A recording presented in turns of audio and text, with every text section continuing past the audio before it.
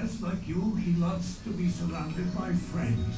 On Christmas Eve, he'll be part of my team. But first, I have to train him. Oh, it's time for me to go on my daily sleigh ride. Maximilian, I'll see you again very soon. Bye. Stop, Santa. Ho,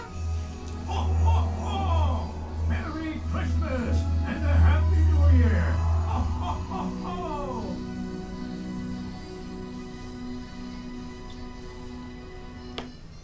I saw Santa. You saw Santa? Yeah. What did he say?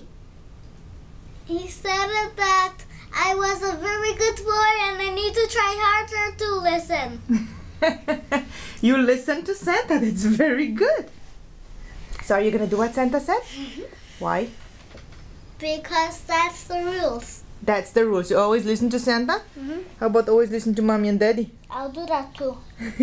I'll do everything what you said and Santa said. oh, good.